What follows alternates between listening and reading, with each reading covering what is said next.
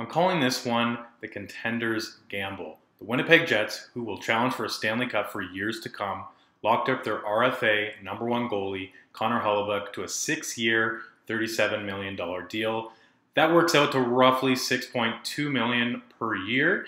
Now, Hellebuyck is a fantastic goaltender, at least uh, projection wise. Uh, he could vault into the upper echelon of the entire league.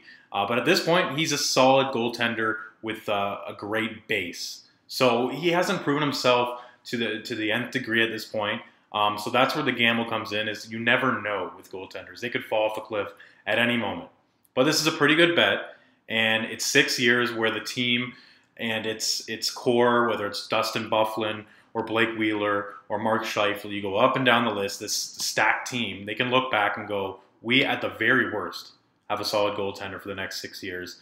Um, and then if you look at it from Hellebuyck's side, he's 25. So when he turns 31, he's going to be a UFA with a ton of, of statistics to look at. And, and if he ends up being what everyone thinks he might be, is if he reaches his potential, he's going to get a huge payday at, at age 31 with still a, a nice window there uh, to play in the National Hockey League. So this makes a lot of sense for the player and for the team.